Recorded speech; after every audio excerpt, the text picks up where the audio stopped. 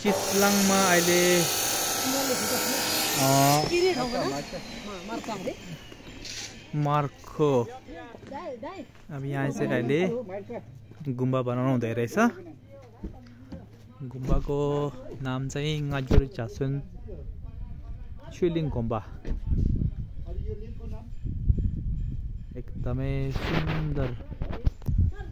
राम्रो रहेछ। प्रकृतिले उपहार दिनुभएको ठाउँ अत्यन्त सुन्दर र राम्रो